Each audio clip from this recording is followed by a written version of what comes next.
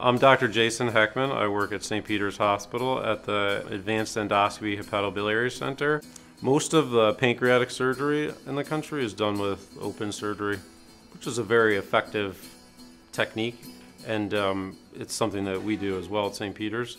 But we really felt that trying to do things in a minimally invasive way gives us benefits to the patient, like reduced pain, decreased time in the hospital, and faster recovery. I believe, and also the, the medical data has proven that it's equivalent to open surgery and in some ways better. And that was the main reason why I decided to move forward with doing something that only about 7 to 10% of surgeons in the country do. So I learned how to use the robotic surgery platform, used it for a lot of other types of surgery. We've been able to transition very complex surgeries that we do open to a minimally invasive approach.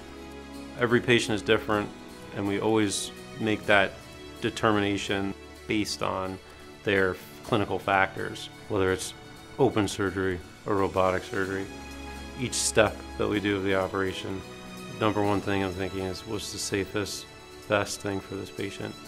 In the post-operative care, same exact thing. I want to extend what's best for patients. That's the reason why I get up in the morning and do surgery.